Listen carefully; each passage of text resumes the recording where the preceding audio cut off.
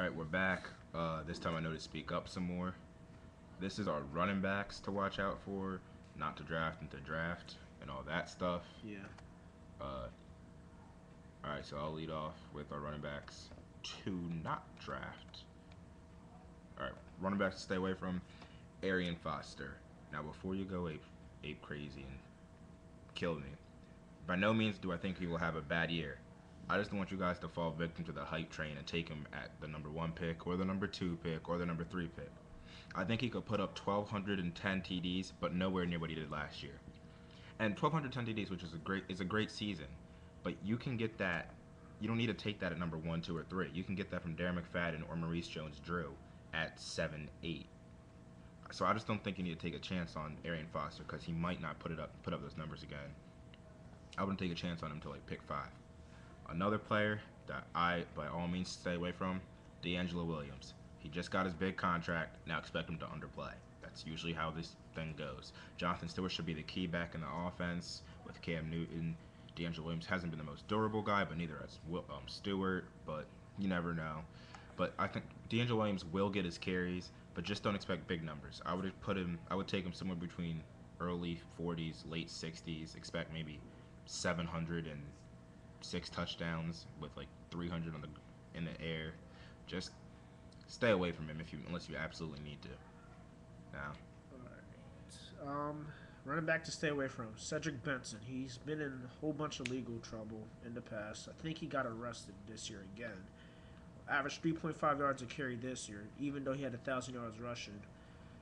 I mean, he might be, he might have to get the carries and stuff, but he's he, they're they're gonna he's gonna be in a tougher situation with the rookie quarterback, not knowing the offensive line formations and all that trouble that a rookie quarterback goes through.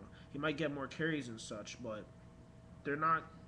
Nobody's not going to expect Andy Dalton to put up 300 yards passing in any game, so they're obviously going to be looking for him to run. He's not going to be getting the, those yards per carry.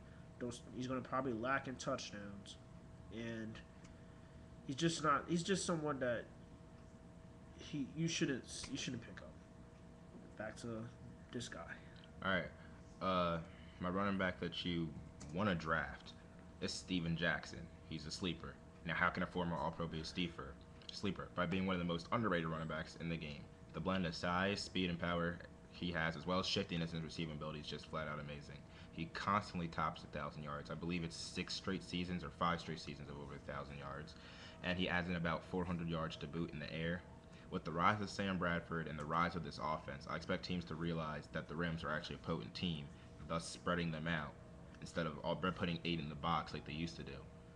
Spreading this out gives Steven Jackson more room to work. I would take Steven Jackson as high as number 10. I think you could expect a very good year by Steven Jackson this season. All right, two running backs that you should definitely look for to maybe you should get. One is Daniel Thomas. The Dolphins just released Ricky Williams and Ronnie Brown, and actually didn't release their contract. What, whatever. They, they're no longer in a team. so, um, yeah, they're no longer in a team. They're going to be even though they just traded for Reggie Bush, he's going to be more of a third down back. Look for um, Daniel Thomas to be getting the majority of the carries, maybe 200 carries plus, maybe even 300, maybe I wouldn't say a thousand yards. Maybe he could. Let's see what happens. But he should be somebody that should be picked up. You could pick up later in the later rounds. Another running back that you could look forward to getting, you should look to getting is James Starks. I mean, he did the postseason of last postseason was a, was just a small glimpse of what he could do. He, they just the Packers just relieved Brandon Jackson, Ryan Grant. He's always injured.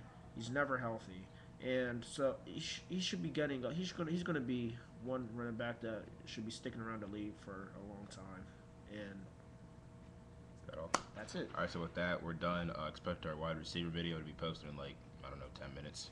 So, see you later. Oh, follow me on Twitter at Willy Law, W I L L W I L L Y Law. Follow me.